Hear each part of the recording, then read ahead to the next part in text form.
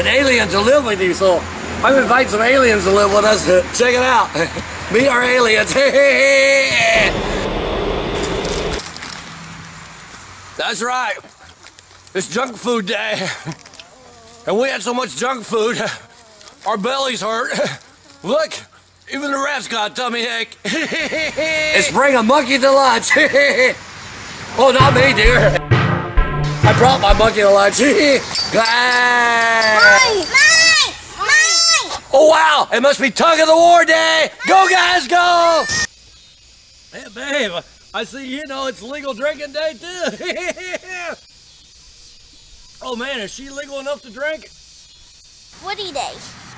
Oh, that's right. It is Woody Day, but not that type of Woody. It's Woodie Wagon Day. Check it out. We have a wooden wagon back here. Oh, I guess they mean this type of Woody. Woodie Wagon hitting around today thinking about all the could has and should has that I should have done here. And as you can see, that list is pretty good size.